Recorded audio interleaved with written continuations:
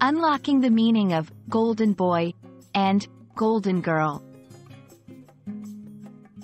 Hello, everyone. Welcome back to our channel, where we dive into the fascinating world of English language learning. Today, we're exploring a very interesting topic. The meaning behind the phrases golden boy and golden girl. These terms are widely used in English-speaking cultures, but what do they really mean?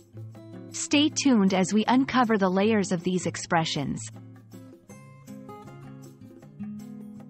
At its core, the term golden boy or golden girl refers to someone who is especially successful, favored, or admired.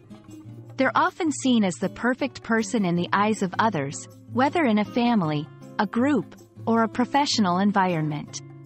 These individuals seem to have an exceptional level of talent, attractiveness, or success, which makes them stand out as the favored ones. The term can apply to various contexts, from sports and business to entertainment and family dynamics. The origins of Golden Boy and Golden Girl are not precisely documented, but they echo the idea of someone being precious or valuable, like gold. Over time, these phrases have been used to describe athletes who excel in their sports, top-performing employees, or members of a group who receive a lot of attention and praise. It's important to note that while being called a golden boy or golden girl can be flattering, it sometimes carries a hint of jealousy or resentment from others. This is because the success or favoritism can seem undeserved or disproportionate to those not receiving the same accolades. The phrases, golden boy, and golden girl, have transcended their literal meanings to become significant in pop culture.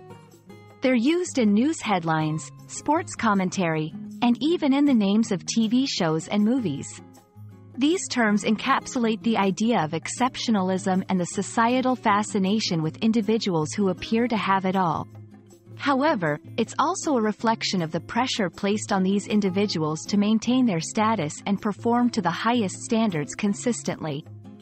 The label of golden boy or golden girl can sometimes be a double-edged sword, offering privilege but also demanding continuous excellence.